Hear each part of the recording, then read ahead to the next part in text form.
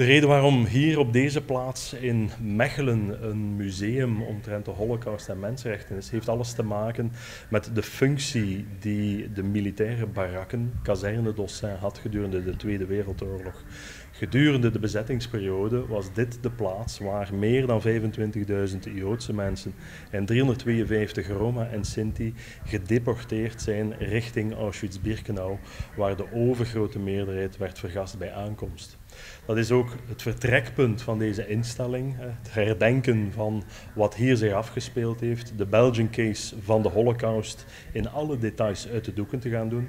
Maar vooral ook aandacht te hebben op de processen. De processen die onderliggend zijn in dit verhaal van cumulatieve radicalisering en de vertaalslag naar vandaag te gaan maken, waarin we gelijkaardige processen van radicalisering of polarisering aantreffen.